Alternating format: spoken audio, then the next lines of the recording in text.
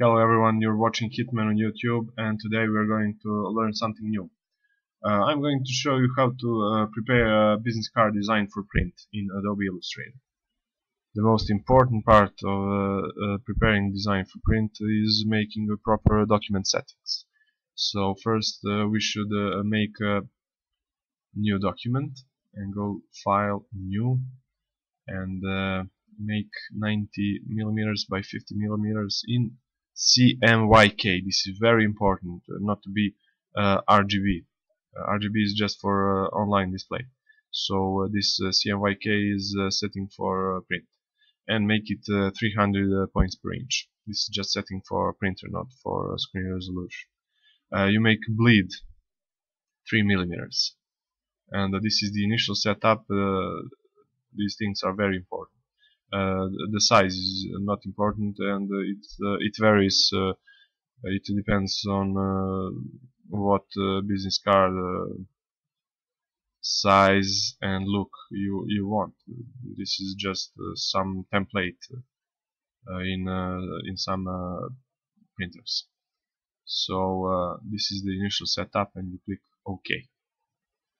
First thing you see here is uh, this uh, rather rectangle. uh, this is a so-called bleed and uh, bleed is uh, a printing term that refers to printing that goes beyond the edge of the sheet before trimming. In other words, the bleed is the area to be trimmed off. The bleed is a part of, uh, on the side of a document that gives the printer a small amount of space to account for movement of the paper and design inconsistencies. Artwork and background colors can extend into the bleed area. After trimming, the bleed ensures that no unprinted edges occur in the final trim document. So uh, this is the initial setup and uh, we can now uh, make uh, the artwork. the next very important thing is the safe zone. The safe zone is uh, just like uh, the bleed uh, is uh, the place, the zone where you put all of your important information. On a business card this would be your name, address, phone number and so on. So uh, this uh, ensures that your information will not be cut off or jammed up against the edge of your prints. Larger safe zones work as well. So we make, how do we make these so-called safe zones? we can draw them and delete them later when we uh, finish the artwork but uh, I, uh, I do this going by, to view and first of all rulers and show rulers. So we get these rulers on the uh, artboard and uh, again uh, we go and make the so-called guides. So I locked them and when I drop them on uh, the artboard uh, they are locked and can't be uh, moved. So you just hold your right click and right here and make and drop them here. So you zoom in and make sure that uh, those uh, safe zones are uh, on 3 millimeter. So again I make uh, 3 millimeter safe zone uh, for the, each uh, side of the design.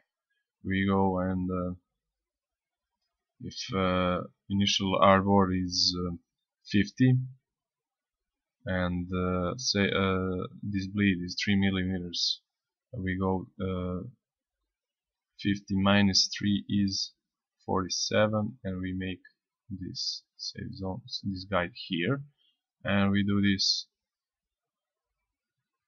for each side. So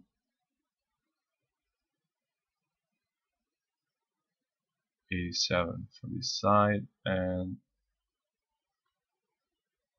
3 for this.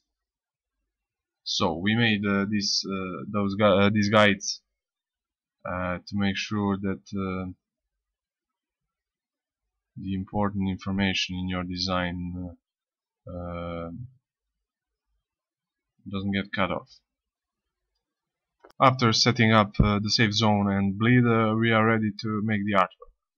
Uh, now I'll just uh, make uh, the background plain white and it goes uh, to to the end of the bleed edges. And just make it white so the next thing is importing the logo and any other important info that you want to put on your business card design. I'll just uh, leave here a logo and make sure it's uh, inside the safe zone. Uh, I'll group it up and align it. So this can be uh, just the, the back side of the business card and without those informations you can make uh, the front uh, of the business card with all the info. Uh, I just don't want to lose uh, time explaining making uh, the artwork. I just want to explain how to prep it up for press. So this this is the artwork and you you made what you want. Uh, the next thing is uh, making it uh, bring it, uh, it for print uh, and exporting it in PDF form. So you go file, export, and go uh, sorry, go to file, save as, and save it as PDF and you go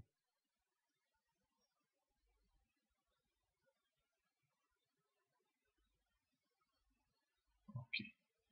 click on save and uh, this is the important uh, setup. Uh, you go uh, I don't I leave all uh, the initial setup uh, untouched. So I just go to marks and bleed and um, check these tree marks registration marks and color bars. And I'll leave everything as it is. So um, I don't touch these any of these settings okay. Uh, you see uh, as from the, the start uh, when I made this document it had bleeds 3 millimeters on each side. So I go to save PDF and uh, we'll see what we got. You see this is design. And uh, the size of the business card uh, is roughly from the point that these lines uh, uh, intersect. So from here to here to here to here.